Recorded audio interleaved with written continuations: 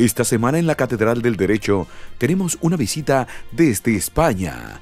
Uno de los jóvenes más talentosos en derecho administrativo de estos tiempos, el profesor Fernando Gutiérrez. Me ha sorprendido ayer, por ejemplo, cuando me pasaban el, compendio de normas del, MAP de aquí, de, la República Dominicana, que ha publicado, ha promulgado en los últimos meses, eh, me ha sorprendido mucho encontrar que hay un reglamento de evaluación de desempeño del, personal de, de, que personal público en la República Dominicana. En España no lo tenemos regulado al detalles. Este domingo a las 8 de la mañana por Digital 15, la perfección de la imagen.